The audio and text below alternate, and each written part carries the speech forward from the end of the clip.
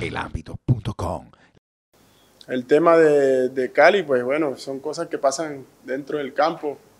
Eh, yo creo que todos sabemos que, que dentro del, campo uno se, se dice muchas cosas para para desconcentrar al rival y más a un jugador como Teo que, que, tiene calidad. De una, de una u otra forma hay que concentrarlo para, para esa forma de, no nos marque la diferencia como ya lo hizo el torneo pasado, todos sabemos.